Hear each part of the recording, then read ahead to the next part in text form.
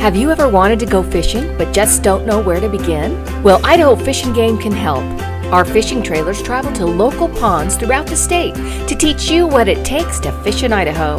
From loaner gear to educational information, our Take Me Fishing trailers are stocked and ready to provide first time anglers with everything you'll need to get hooked on fishing.